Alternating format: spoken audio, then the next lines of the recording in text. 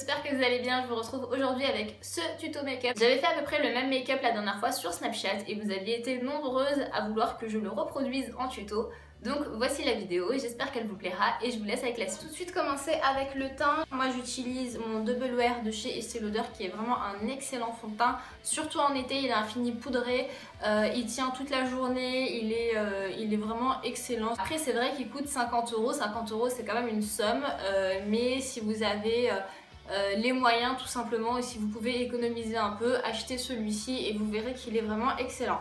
Moi j'utilise un teinte de W2, teinte qui m'allait l'été dernier donc je pense que là j'ai pris quand même pas mal de couleurs. Je vais mélanger mon fond de teint avec l'accord parfait highlight en teinte dorée 101D. C'est un highlighter en crème qui est vraiment magnifique, doré comme son nom l'indique bien évidemment.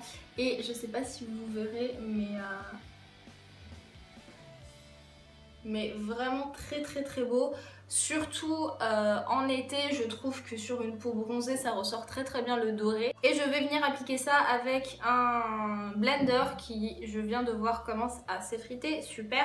Donc celui-ci, c'est celui de chez DM euh, pour les frontalières, celles qui habitent euh, en Alsace. Vous pouvez le retrouver très facilement. Je crois qu'il coûte 1,50€. J'en suis pas fan, mais j'ai connu pire.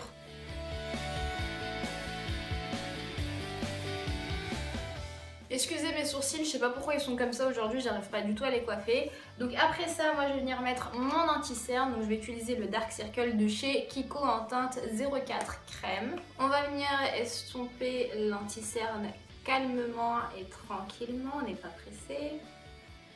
Voilà pour l'anti-cerne, donc moi je mets pas de correcteur au niveau de, mon teint ni rien. Je vais juste venir poudrer l'anti-cerne, moi je le fais avec ma palette de chez euh, Nika Nikaka, euh, je sais pas trop comment est-ce qu'on prononce ça. C'est une marque euh, américaine que j'avais reçue dans une, euh, dans une suite Sparkle. Je vous la mettrai juste ici, le lien de la vidéo.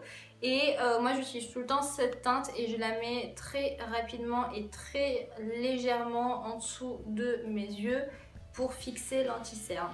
On va venir mettre une base à paupières, celle-ci c'est celle de chez ELF qui vaut 1€ et qui est franchement pas mal.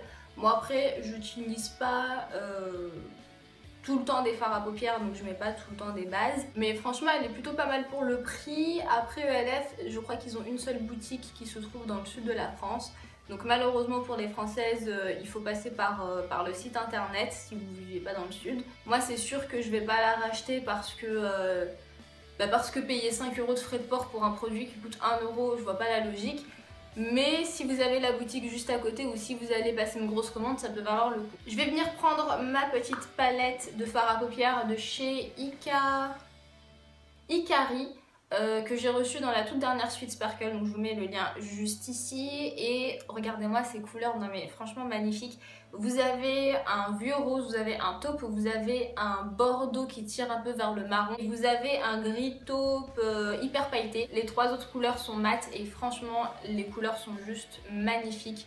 Euh, Franchement, moi je suis amoureuse de cette palette. Ils sont un peu poudreux mais ça me dérange pas. Vous pouvez la retrouver sur l'e-shop de Sweet Sparkle et on va tout de suite commencer. Donc je vais prendre un pinceau comme ceci euh, qui est sale mais c'est pas très grave parce que j'ai fait exactement le même make-up avec les mêmes pinceaux.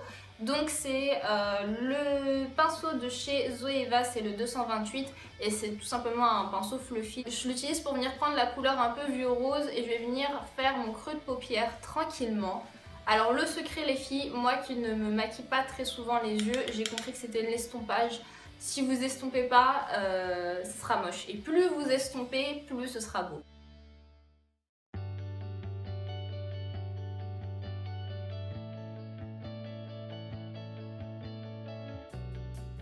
Vous pouvez voir que c'est quand même assez bien pigmenté. Euh, je pense que je vais rajouter quand même une couche mais franchement c'est hyper bien pigmenté. Après là j'ai une petite tache ici, c'est ma piqûre. Je sais pas si vous avez vu ma dernière vidéo, euh, dans mon vlog je vous en parle, je vous la mettrai juste ici. Et euh, je crois que c'est un moustique qui m'a piqué. Je crois que je dois être la seule au monde qui a une piqûre de moustique au niveau de la paupière. Mais bon.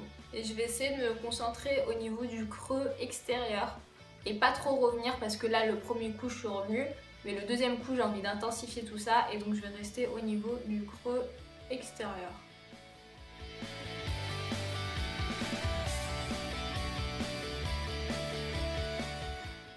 Voilà pour le premier œil. On va faire la même chose au niveau du second, histoire que ce soit un peu euh, symétrique. Ensuite, je vais venir prendre un pinceau plat comme ceci. Donc celui-ci, c'est le Sigma E55. Et je vais venir prendre la couleur taupe, donc celle-ci. Je vais venir en prendre un tout petit peu. Et je vais venir la poser au niveau du centre. Cette fois-ci, je vais prendre la couleur irisée, donc c'est la seule euh, qu'il y a sur, euh, sur la palette. Donc comme je vous l'ai dit, c'est un gris taupe qui, qui tend un peu vers le rose. Je vais en prendre sur mon pinceau et je vais le mettre là exactement où j'ai mis le taupe.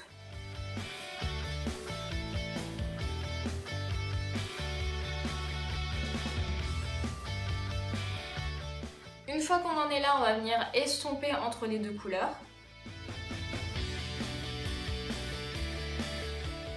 Je vais venir prendre un pinceau, euh, un pinceau comme ça, un peu pointu. Celui-ci c'est le Sigma E30 et je vais venir prendre la couleur un peu bordeaux marronné que je vais venir mettre seulement en creux de paupière.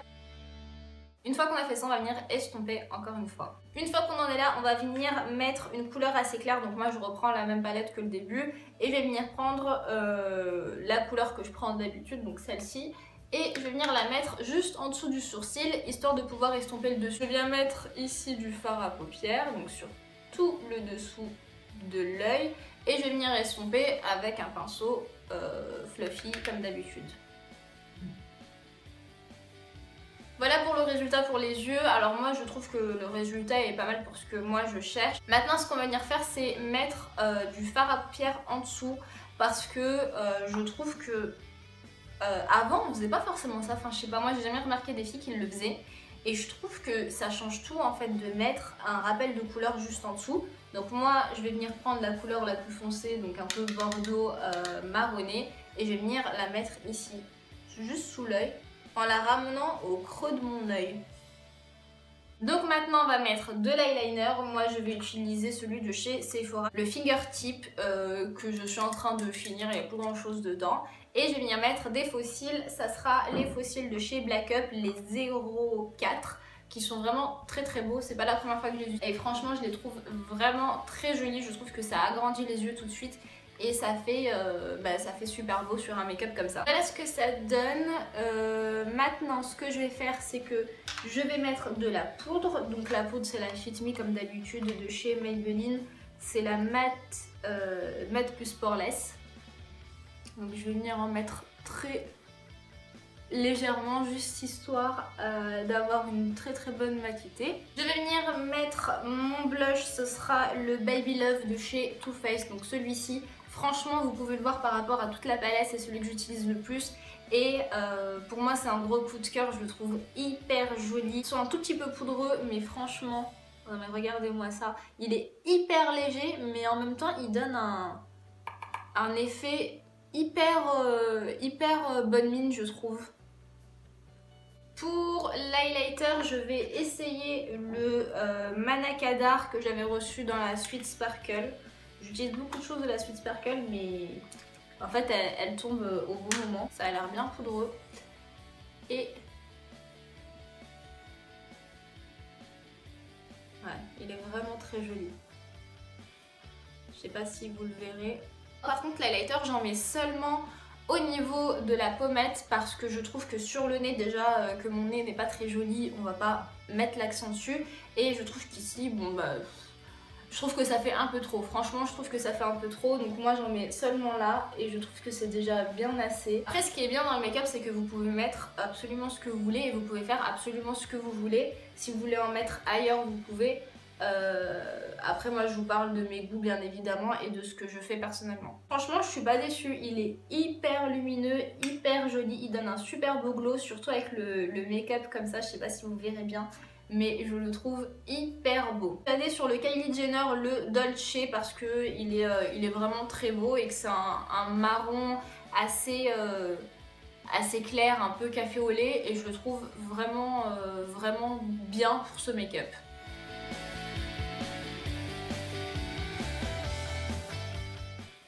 Ce make-up, j'espère qu'il vous aura plu et j'espère que ce sera facile à reproduire pour vous. N'hésitez pas à me dire ce que vous en pensez. N'hésitez pas non plus à liker la vidéo si vous avez apprécié et à me dire en commentaire si vous souhaitez avoir un make-up de journée, je ferai ça assez rapidement. J'espère que la vidéo vous aura plu et je vous dis à très vite dans une nouvelle vidéo.